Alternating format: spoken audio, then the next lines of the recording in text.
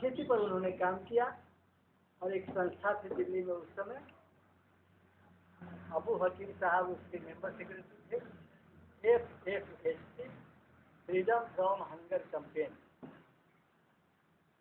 भारतीय क्षुधा निवारण समिति, जिसका नाम बाद में इसलिए बदला गया कि भारत एक कृषि प्रधान देश है कि भारतीय क्षुधा निवारण ठीक नहीं है, इसलिए उसको उसका नाम पाडी कर दिया। PADI P A D I people's action for development India भारतीय लोक विकास कार्यक्रम। और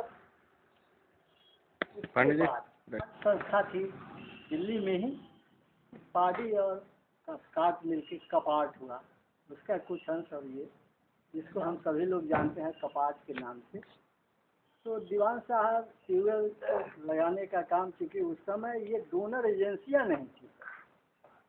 कोई सपोर्टिंग एजेंसी नहीं थी कि हम आपको देंगे ये चीज़। लेकिन वो जो फ्रीडम फ्रॉम हंगर कंपनी, उसने अपना अंशदान दिया कि वास्ता जिसको आपने पहले देखा है वैशाली में स्थापित है, जिससे दीवान साहब सेक्रेटरी हुआ करते थे, उसमें उन्होंने दो लाख रुपया उस समय सेवेंटी में, जब आई सी स्वर्गीय श्री जगदीश चंद्र साहब ज़िंदा थे। और उस पर बट वृक्ष देखे होंगे। बट वृक्ष के नीचे बैठक हुई थी उनकी। और उन्हीं की ये वाणी में है जो चंदेश्वर बाबू हमारे कहा करते हैं, गेहूँ और गुलाब। राम वृक्ष बेनीपुरी जी की है, लेकिन उनका सपना था कि हम वैशाली को फूल और अन्न से संवारें और सजाएँ। और उन्हीं की प्रेरणा से दीवान साहब आए थे। ट्यूबवेल लगना शुरू हो गया था। बैंक की सहायता से। क्या था कि महज दो लाख रुपया सीड मनी भाजपा को एफ़ एफ़ एस सी ने दिया था, कोई वर्कर्स नहीं। और उस सीड मनी को as a margin money bank में रखा गया। बैंक ने सपोर्ट किया वास्पा को सेंट्रल बैंक वैसा लालगंज था उस समय। और उसमें इस तरह से तेरह ट्यूबवेल यहाँ ग्रुप ट्यूबवेल, वैशाली में ट्यूबवेल बाईस है तेईस है। तेईस ट्यूबवेल और मदरना में ग्यारह ट्यूबवेल इतना ग्रुप ट्यूबवेल्स उन्होंने बनाया। आज जो एस एच जी पैटर्न पर हम लोग काम कर रहे हैं स्वयं जयंती ग्राम स्वरोजगार योजना दीवान साहब ने दस बीस पच्चीस पचास तीस छोटे छोटे किसानों का एक कम, कम, कमांड एरिया बना करके और ट्यूबवेल लगवाया।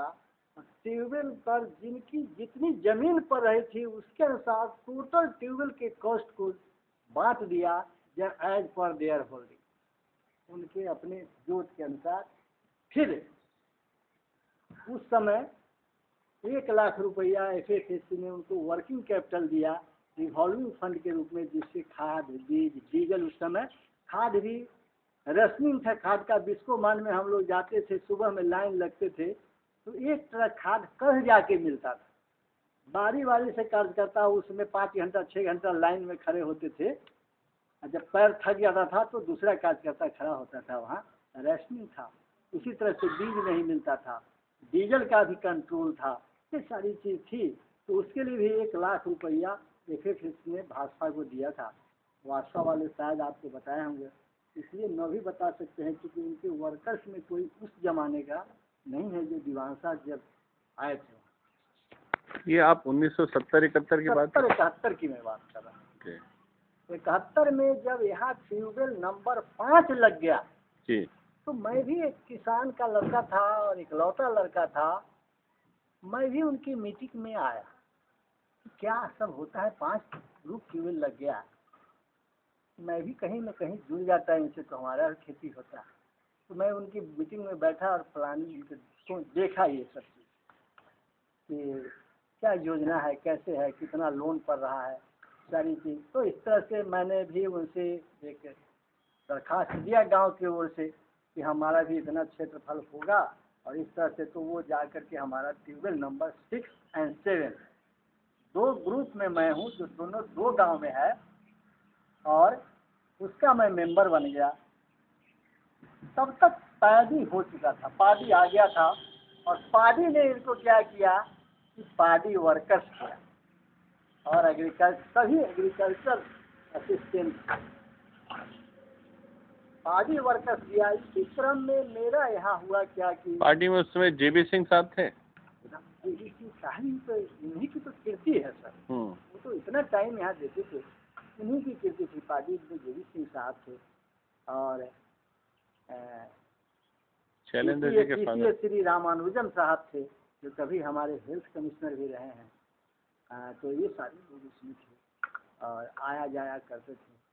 तो इस तरह से हमारा हुआ। तो मैं भी उसमें आ गया। तो समस्या दीवान साहब को हुआ क्या कि सभी ग्रुप ट्यूबवेल्स को क्योंकि बीस लगभग तिरपन चौवन ट्यूबवेल्स को चैनल्स देना है बिजली लगाना है फर्टिलाइज़र, सारे चीज़। तो वो कंट्रोल नहीं हो रहा था पार्टी वर्कर्स क्योंकि बतौर ऑनरेरियम पाँचे छः सौ रुपया था तो दीवान साहब के शब्दों में आज वो शब्द सही नहीं है।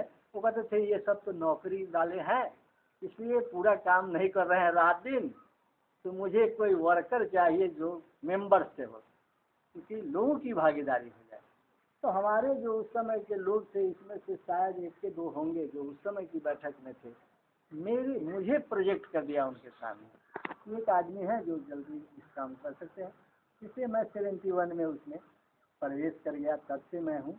इसी का एक ये रूप देख रहे हैं जो बास फार का दस फार का वगैरह वगैरह वगैरह वगैरह। जब कपास नहीं पानी ही था तो इस तरह से दीवान साहब ने एक्सटेंशन कर दिया, चंपारण से लेकर के। और दरभंगा और